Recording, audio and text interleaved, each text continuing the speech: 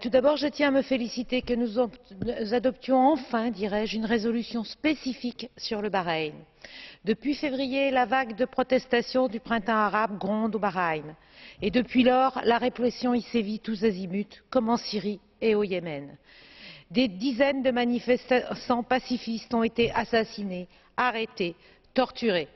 La répression a également touché les médecins, les personnels soignants qui ont, pour, seul crime, osé porter secours aux victimes de cette répression sauvage.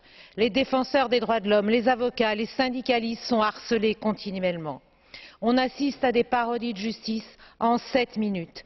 Des condamnations à mort sont prononcées et le moins que l'on puisse dire, c'est que la communauté internationale n'a pas été très prompte à réagir et que les condamnations de cette répression ont été pour le moins faibles. Il faut dire que le grand voisin saoudien veille. Pire, il est intervenu militairement pour venir en aide au pouvoir en place. Des milliers de soldats saoudiens sont toujours sur le sol bahreïni. Il est difficile de ne pas remarquer à quel point la résolution qui nous est soumise aujourd'hui est timorée sur ce sujet. Pas la moindre condamnation de cette présence militaire. On exprime une vive préoccupation. C'est faible.